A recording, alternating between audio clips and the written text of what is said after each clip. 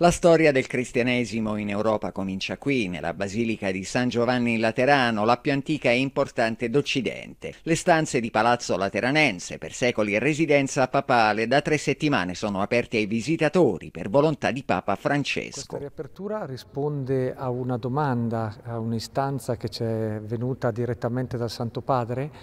e significa mettere a disposizione, eh,